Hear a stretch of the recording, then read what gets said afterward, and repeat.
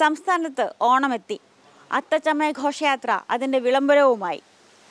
എന്തായിരുന്നു അത്തച്ചമയം ഓർമ്മകൾ ഇപ്പോഴത്തെയും അപ്പോഴത്തെയും പങ്കുവയ്ക്കാൻ ഒരു സ്പെഷ്യൽ ആളാണ് നമുക്കൊപ്പം ചേരുന്നത്. തൃപ്പൂണിത്തുറ ബംഗ്ലാവ് പാലസിലെ സുഭദ്ര തമ്പുരാൻ. അന്ന് എങ്ങനെയായിരുന്നു അത്തച്ചമയം അത്തച്ചമയം രാജഭരണകാലത്ത് രണ്ട് അത്തച്ചമയം കണ്ടിട്ടുണ്ട്. രാജാവിന്റെ കാലത്ത്. ഒന്ന് ഞാൻ ചെറിയ ക്ലാസ്സിൽ മൂന്നാം ക്ലാസ്സിലാണ് ഓർമ്മ. അത്തച്ചമയം കാണാൻ പോയിട്ടുണ്ട്. അത് അന്ന് കളിക്കോട്ടയിൽ കാറ് വരും. ഞങ്ങളുടെ സ്കൂളായിരുന്നു കളിക്കോട്ട പണ്ടേ തമ്പുരാക്കന്മാർക്ക് മാത്രം. അപ്പോൾ കളിക്കോട്ടയിൽ കാറ് വന്ന് അതേ കയറി പോയിട്ടുണ്ട്. പെൺകുട്ടികൾക്ക് പ്രത്യേക വേഷമൊന്നുമില്ല. ആൺകുട്ടികൾക്ക് നല്ല വില്ലീസ് കുപ്പായം കാലുറ ഫുൾ ഇത് പിന്നെ പൈജാമ പോലത്തെ ഇവിടം വരെ ഉള്ളത് പിന്നെ തൊപ്പി ഈ കിന്നരിയൊക്കെ വെച്ച് തൊപ്പി ആൺകുട്ടികൾക്ക്. പെൺകുട്ടികൾക്ക് പ്രത്യേക വേഷമൊന്നുമില്ല.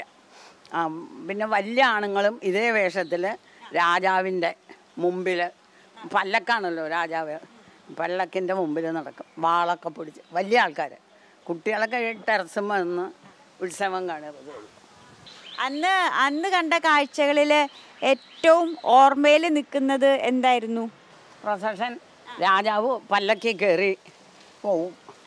മുമ്പിൽ ഈ വാളും പിടിച്ച് അമ്മാവന്മാർ മുമ്പിൽ പോകും പിന്നെ അത് അതിന്റെ മുമ്പിൽ scout.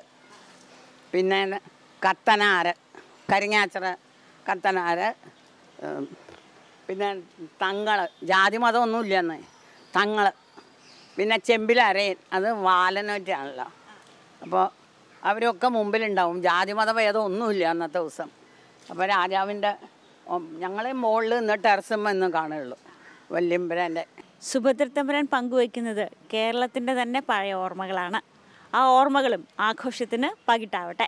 Saneesh സദാശിവനൊപ്പം P R Vandana Asianet news Kochi.